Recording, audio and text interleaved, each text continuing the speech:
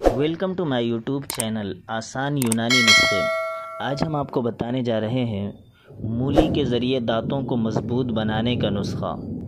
मसोड़ों की बीमारियाँ, पायरिया और दांतों की मज़बूती के लिए मूली को काली मिर्च लगाकर खाने से फ़ायदा होता है और दांत मुख्तलिफ़ बीमारियों से महफूज रहते हैं।